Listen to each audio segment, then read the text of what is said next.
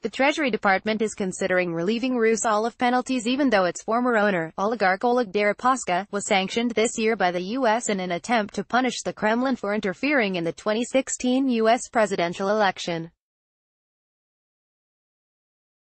The possible relief for Rusal comes as President Donald Trump continues to deal with the fallout from his Helsinki summit with the Russian president. Democrats and Republicans urged Trump to ramp up sanctions, not dial them back, and strike at even more sectors of the Russian economy. The U.S. imposed sanctions on Rusal in April because of its ties to Deripaska. But the Treasury Department said a few weeks later that it was considering removing sanctions against the massive aluminum company after a surge in aluminum prices. In an interview with CNN, Treasury Secretary Steven Mnuchin said the U.S. government knew the impact sanctions would have on Rusal. The company's founder, Deripaska, has since stepped down from his role as a non-executive director on its board. It wasn't a surprise that Rusal was going to get picked up if we sanctioned Deripaska, Mnuchin said on the sidelines of the G20 meeting of finance ministers in Buenos Aires on Saturday.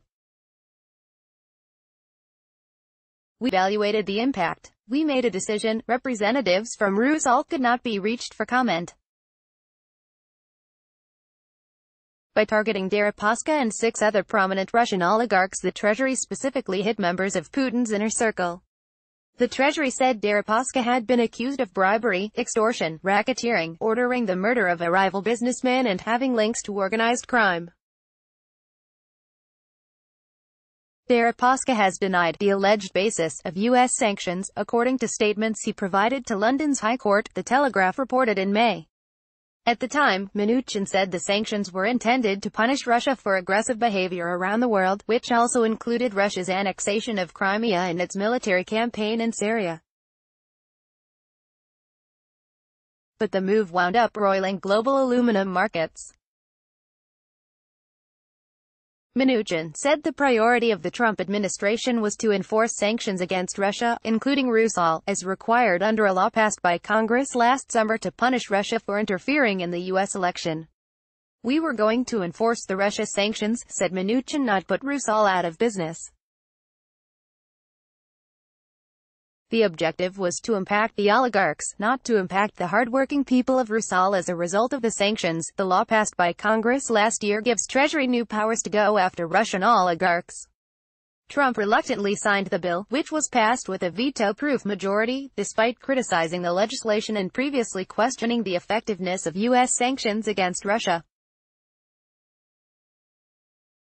While seeking sanctions relief, Rusal has taken steps to water down Deripaska's involvement in the company.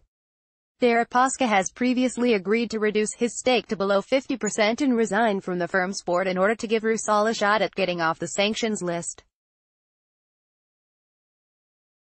Seven other members of the board, nominated by a Deripaska-owned company, also resigned in May.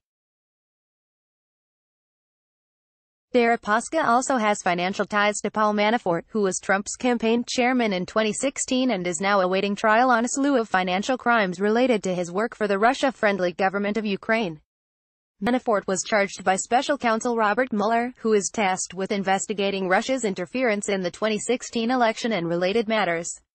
None of the recent sanctions against Deripaska are related to his ties to Manafort.